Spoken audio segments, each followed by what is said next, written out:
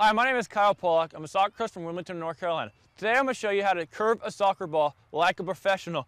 For this clip, you need a soccer goal, a soccer ball, and a soccer cleats. My demonstrator, Chris Murray, is going to show us how to do that. First way he's going to show us is from the using the inside of his foot going from right to left. Let's see that. Perfect. When you plant your foot, you want to be nice and a little bit further away from the ball so you can get the full action of the ball. So go ahead, strike it. Perfect. When you're striking the ball, when the, when the inside of your foot, it's very important to have your, when your toe up so you get full action of the ball.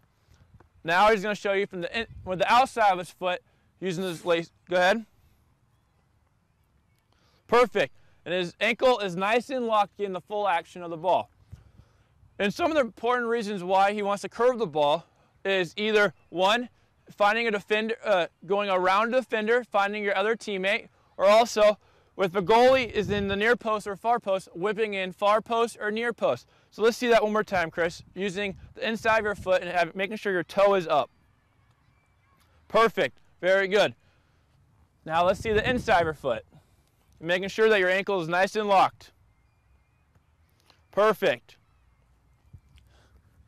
It's very important when you're using, when you're curving the ball, is make sure you have your head down and keeping your eyes on the ball at all times.